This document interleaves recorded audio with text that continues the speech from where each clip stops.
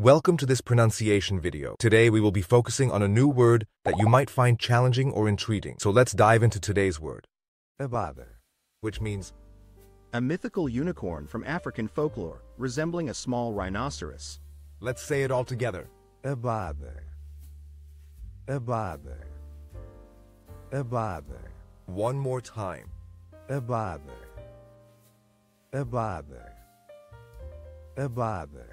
Thank you for joining us on this adventure in pronunciation. Remember, language is a journey, not a destination. Keep exploring, experimenting, and expanding your linguistic horizons. We'll see you next time.